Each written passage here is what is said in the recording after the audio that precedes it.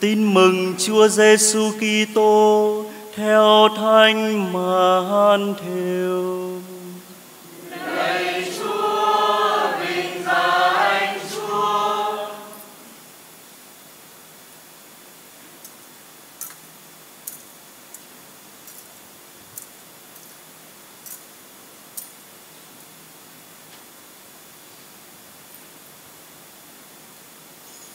Khi ấy, Chúa Giêsu phán cùng các môn đệ rằng: Nếu ai muốn theo thầy thì hãy từ bỏ mình đi và vác thập giá mình mà theo thầy. Vì chưng ai muốn cứu mạng sống mình thì sẽ mất, còn ai đành mất mạng sống mình vì thầy thì sẽ được sự sống. Nếu ai được lợi cả thế gian mà thiệt hại sự sống mình thì được lợi ích gì? Hoặc người ta sẽ lấy gì mà đổi được sự sống mình? Bởi vì con người sẽ đến trong vinh quang của cha người, cùng với các thiên thần của người và bấy giờ, người sẽ trả công cho mỗi người tùy theo việc họ làm. Đó là lời Chúa. Lời Chúa Kitô ngợi khen Chúa. Xin cộng đoàn tiếp tục đứng.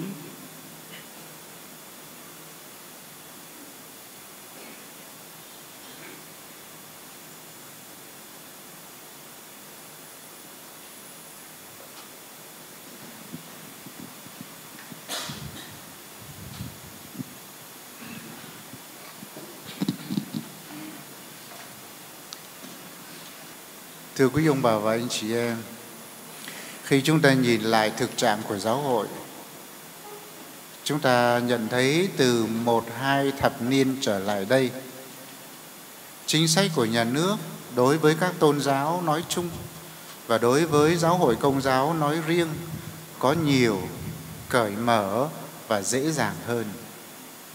tùy chưa nói đến cái gọi là tự do tôn giáo chúng ta dễ dàng xây nhà thờ dễ dàng sinh hoạt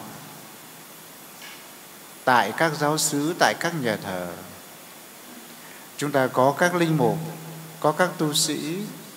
Chúng ta dễ dàng tổ chức các cuộc rước. Chúng ta lập các hội đoàn, mở các lớp giáo lý. Đó là những tín hiệu vui và cho chúng ta thấy sự phát triển của giáo hội. Tuy vậy những hoạt động này mặc dù là rất cần thiết và rất tốt, nhưng nó chỉ có ý nghĩa khi chúng ta sống đức tin và chúng ta hiểu đức tin. Bởi vì có nhiều người thì tham dự những sinh hoạt ồn ào ấy, nhưng mà chưa chắc đã thực sự giữ đạo, hoặc là chưa hiểu về đức tin như giáo hội dạy đây là một vấn đề lớn đối với những người công giáo miền Bắc chúng ta. Chúng ta ngại nói với những người khác về là mình là người có đạo. Không dám nói với những người khác về Chúa Giêsu. Khi chuẩn bị công nghị tổng giáo phận năm 2021, chúng tôi có làm một cuộc khảo sát rất là khoa học trong địa phận chúng ta. Và đối với câu hỏi là ông hay bà hay ngay chị có dám nhận mình là người có đạo ở nơi công cộng không? Thì khoảng 60% trả lời là có. Câu hỏi sau đó, ông hay bà anh hay chị có dám nói với người khác về Chúa Giêsu không? Thì cái kết quả câu trả lời khiêm tốn lắm, thưa quý ông bà và anh chị em. Chỉ chừng 30% trả lời là có nói về Chúa Giêsu cho những người không cùng tôn giáo với mình. Và tiếp theo câu hỏi là tại sao mà các bạn hay ông bà lại không nói về Chúa Giêsu cho những người không cùng tôn giáo với mình đưa ra ba cái đề nghị để trả lời. Một là thiếu hiểu biết, hai là thiếu tự tin, ba là xấu hổ.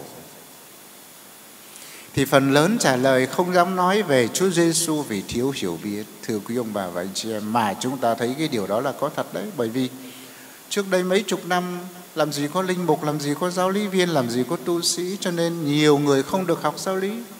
Thế hệ bây giờ thì họ chưa quen với sự cần thiết của việc học giáo lý. Chính vì vậy chúng ta tạ ơn chúa về những hoạt động sôi nổi bên ngoài nhưng mà chúng ta cũng phải lưu ý đến đời sống nội tâm và tìm hiểu sống đức tin, hiểu đức tin, hiểu mục đích của mình, việc mình theo đạo vì thế đoạn phúc âm Thánh Matthew mà chúng ta vừa nghe rất là ngắn gọn có mấy câu thôi nhưng mà tôi thiết nghĩ là đoạn này đủ để nói với chúng ta về những vấn nạn hay là những hiểu biết về đời sống đức tin của người công giáo chúng ta. Bởi vì xung quanh chúng ta ở đây chúng ta đi chợ, chúng ta đi làm, chúng ta gặp biết bao nhiêu những người không cùng tôn giáo với mình. Nhất là các bạn trẻ đi học ở đại học, đi bộ đội, đi công nhân, đi thoát ly khỏi gia đình, gặp biết bao nhiêu những người không cùng tôn giáo với mình. Vậy thì cái câu hỏi thứ nhất người ta thường hỏi, tức là theo đạo là cái gì? Theo đạo là cái gì? Tôi thấy bạn theo đạo thì theo đạo là cái gì vậy?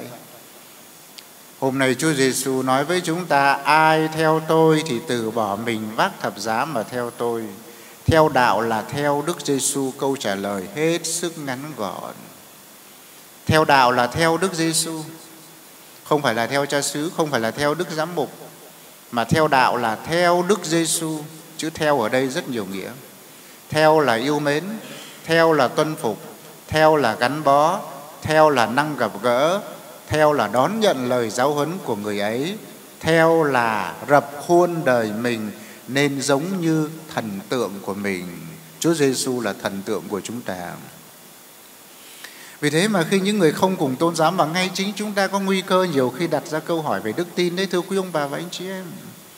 Bởi vì có nhiều khi chúng ta gặp khó khăn trong cuộc đời, trục trặc về đời sống gia đình, khó khăn thất bại khi làm ăn trong thương trường. Đôi khi chúng ta nghĩ biết mình theo đạo thì có được cái gì không? Vậy theo đạo là đi theo Đức Giêsu, chúng ta ở đây đều đi theo Đức Giêsu. Và khi chúng ta được lĩnh nhận bí tích rửa tội là khởi đầu hành trình đi theo Đức Giêsu, theo đạo là theo Đức Giêsu. Và có thể người ta cũng hỏi câu hỏi thứ hai nữa là theo đạo thì phải làm cái gì? Theo đạo thì phải làm cái gì? Lời Chúa Giêsu hôm nay cho chúng ta một câu gợi ý để trả lời thưa theo đạo là vác thập giá đi theo Đức Giêsu. Ai muốn theo tôi hãy từ bỏ mình vác thập giá hàng ngày mà theo tôi. Theo đạo là vác thập giá theo Chúa Giêsu. Thưa quý ông bà và anh chị em, chúng ta trung thành với Chúa. Những lúc người ta chúng ta gặp vui mừng thì dễ lắm, nhưng mà khi chúng ta gặp khó khăn thất bại vô cùng khó khăn. Thập giá là gì? Là những khó khăn trong cuộc sống, những mâu thuẫn, những thất bại, những bất hòa trong những mối tương quan gia đình, bạn bè và xóm làng. Thập giá là những khó chịu hệ lụy mà khi do chúng ta là người công giáo, hai chữ công giáo mà chúng ta phải chấp nhận. Ví dụ bây giờ có một vài trường đại học, nhà nước người ta không nhận học sinh viên công giáo. Đấy cũng là một hệ lụy đấy.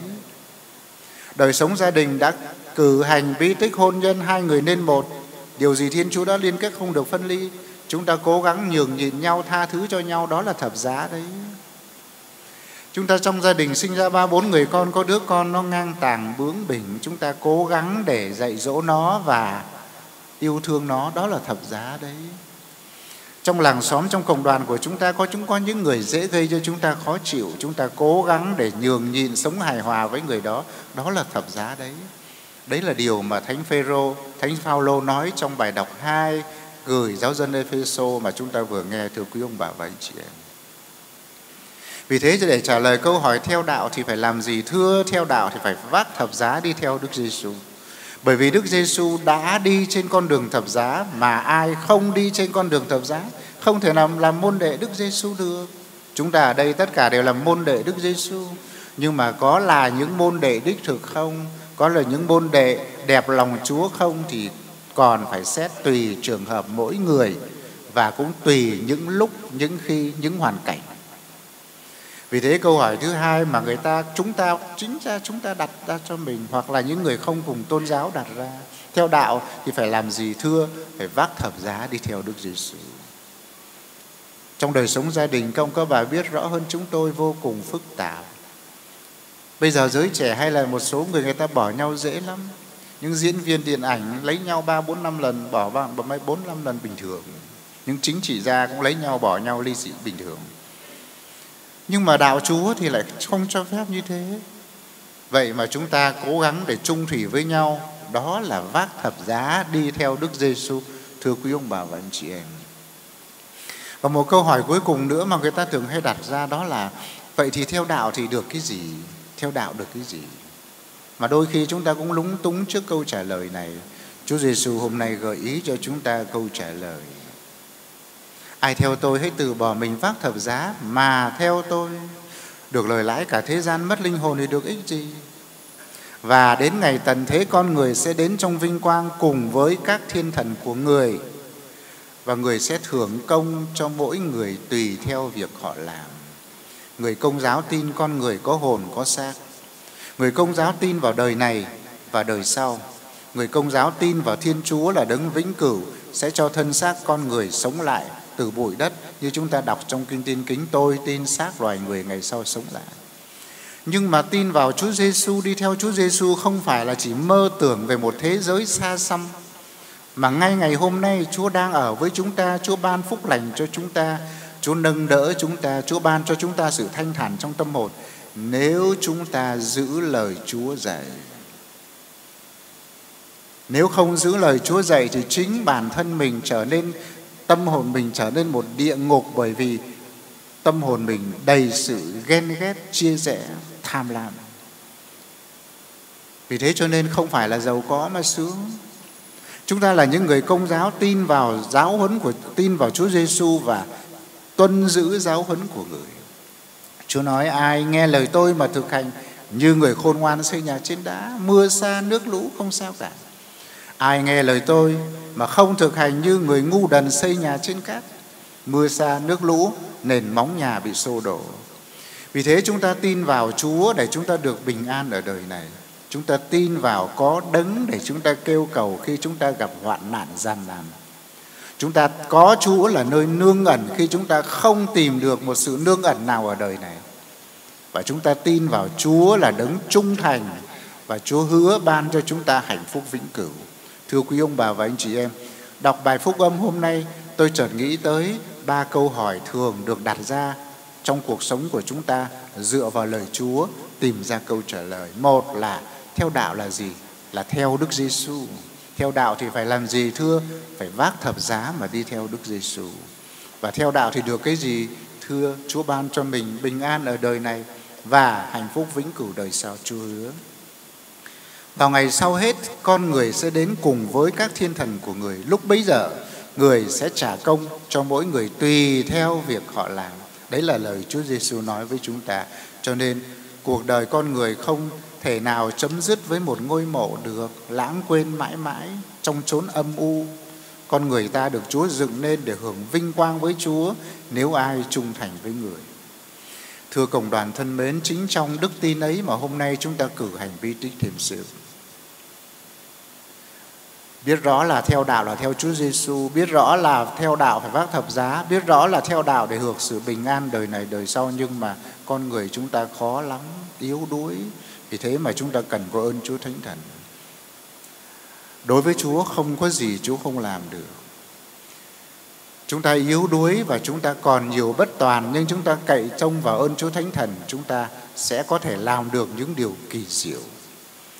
Các con thân mến, hôm nay các con được chịu phép thêm sức là các con được Chúa Thánh Thần ngự trong tâm hồn các con để các con có thể đi theo Đức Giêsu, để các con có thể vác thập giá mà theo Chúa, để các con xác tín một điều là mình là người công giáo.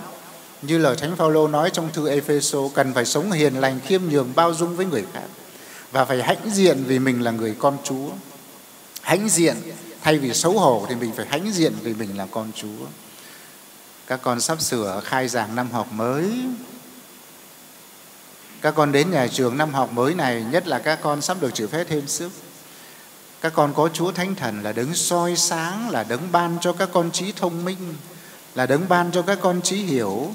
Để các con hiểu những kiến thức mà các thầy cô giáo giảng dạy ở nhà trường. Các con hiểu các kiến thức giáo lý mà cha xứ, các thầy, các anh chị giáo lý viên, các sơ dạy ở giáo xứ các con được Chúa Thánh Thần soi sáng để các con biết hiếu thảo với cha mẹ, lễ phép với thầy cô và những người bậc trên.